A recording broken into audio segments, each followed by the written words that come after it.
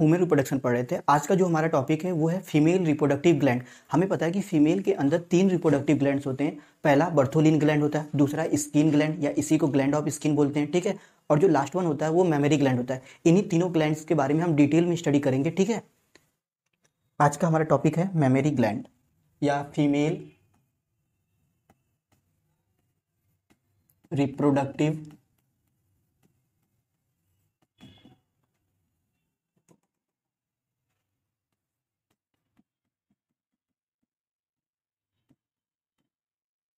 पहले बच्चा तीनों का नाम लिख लेते हैं, ठीक है?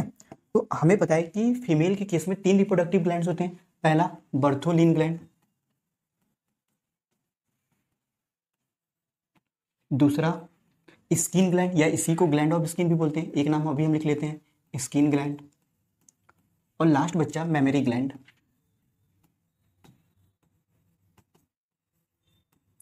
ठीक है? तो फीमेल के केस में बच्चा, यही तीन ग्लैंड प्रेजेंट होते हैं। कौन कौन से? बर्थोलिन ग्लैंड स्किन ग्लैंड और मेमोरी ग्लैंड ठीक है? पहला हम बर्थोलिन ग्लैंड को स्टार्ट करते हैं, ठीक है? तो पहला इसमें हमारा रहेगा बर्थोलिन ग्लैंड ठीक है? अब बच्चा, ये जो बर्थोलिन ग्लैंड होता है, ये वन पेयर स्ट्रक्चर होता है, ठीक है? तो पहला इसमें हमारा सिंपल सा पॉइंट है क्या? कि ये वन पेयर स्ट्रक्चर होता है। वन पेयर स्ट्रक्चर का मतलब नंबर में ये कितने होंगे? दो होंगे। ठीक है? अच्छा अगर दो होते हैं तो हर हर एक बर्थोलिन ग्लैंड वेजाइनल ओपनिंग के एक बर्थोलिन ग्लैंड इस साइड होता है और वेजाइनल ओपनिंग के एक बर्थोलिन ग्लैंड इस साइड होता है। ठीक है? यानी one on one on each side of vaginal opening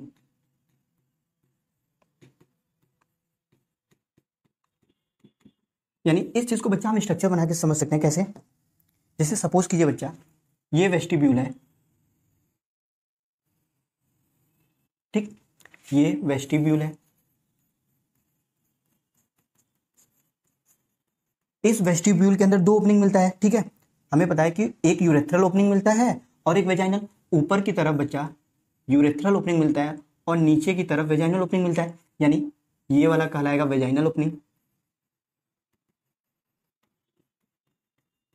और इसके ऊपर वाला बच्चा कहलाएगा यूरेथ्रल ओपनिंग ये हम पढ़ चुके हैं। ठीक है बच्चा? अब होता क्या बच्चा? ये जो बर्थोलिन ग्लैंड होता है, ये तो वन पेयर स्ट्रक्चर यानी दो होगा नंबर में, ठीक? One on each side of vaginal opening यानी इस वेजाइनल ओपनिंग के एक इस साइड बर्थोलिन ग्लैंड होता है और दूसरा इस साइड होता है, ठीक है? स्ट्रक्चर में हम दिखा सकते हैं। कि इस वेजाइनल ओपनिंग के एक इस साइड बर्थोलिन ग्लैंड मिलेगा और एक इस साइड बर्थोलिन ग्लैंड मिलेगा। तो वही पॉइंट लिखा है कि one on each side of vaginal opening यानी ये कहलाएगा हमारा Bartholin gland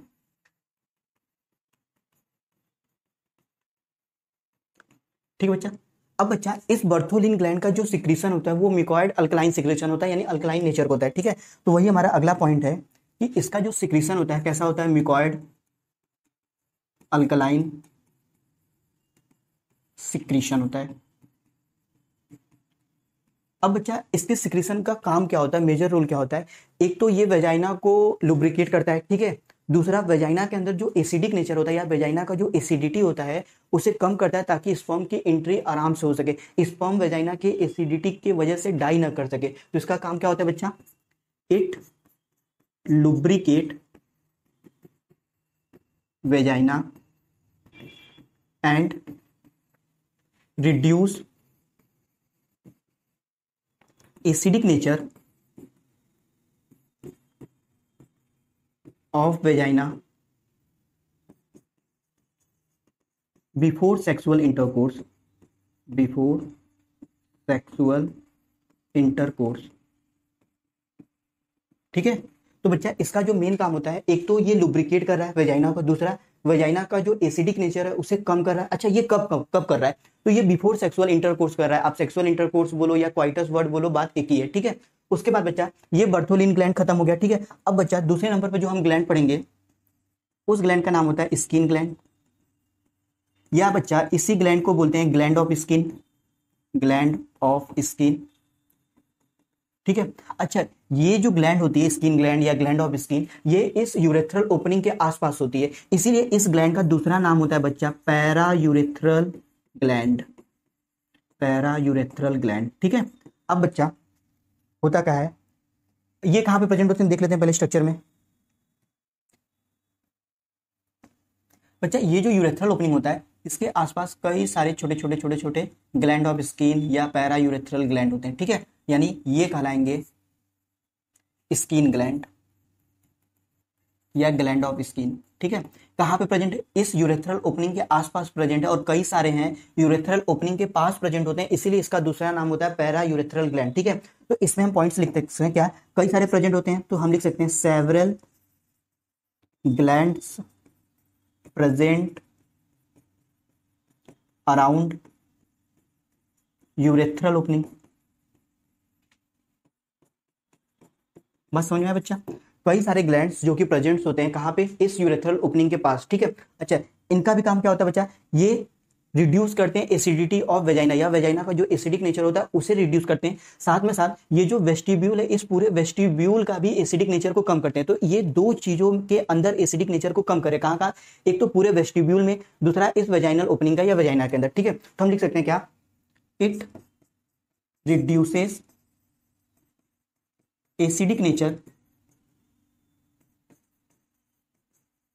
of vestibule and vagina ये भी बच्चा बिफोर सेक्सुअल इंटरकोर्स पर ही करता है बिफोर सेक्सुअल इंटरकोर्स बच्चा चाहे बर्थोलिन हो चाहे स्किन ग्लैंड हो, दोनों का सिंपल सा काम है कि ये एसिडिक नेचर को कम करते हैं। कब कम करते हैं? सेक्सुअल इंटरकोर्स से पहले। ऐसा इसलिए करते हैं बच्चा, ताकि जब सेक्सुअल इंटरकोर्स होगा सीमेन यानी स्पर्म अंदर जाएगा। भाई वजाइना सर्विक्स यूटेरस इसी तो पाथवे से जाएगा। तो स्पर्म की डेथ ना हो, इस एसिडिक नेचर की वजह से, ठीक है? अच्छा भैया, अब हमारा बच्चा बर्थोलिन ग्लैंड और स्किन ग्लैंड यहाँ पे कंप्लीट होता हुआ, यानी बर्थोलिन ग्लैंड कंप्लीट हो गया स्किन ग्लैंड कंप्लीट हो गया। अब लास्ट बच्चा हमें मेमोरी ग्लैंड के बारे में पढ़ना है, ठीक है?